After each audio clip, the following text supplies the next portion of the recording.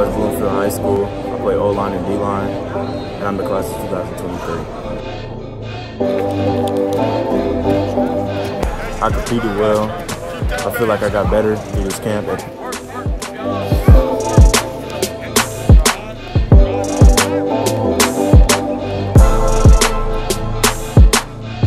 You have to be technical smart. You have to have your technique right.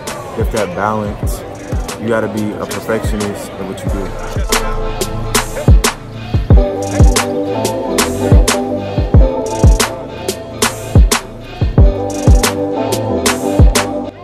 I got to work on my punch for one of my weaknesses. And for my strengths, I got good foot good footwork because I play basketball, and that really helps. And I can move well off the ball.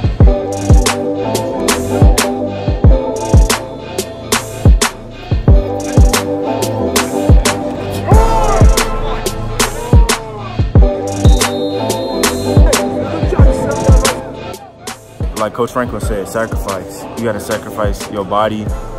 You gotta sacrifice a lot to go D1.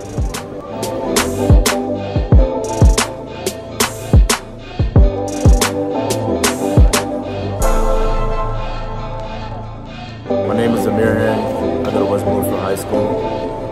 O-line, D-line, and I'm the class of 2023.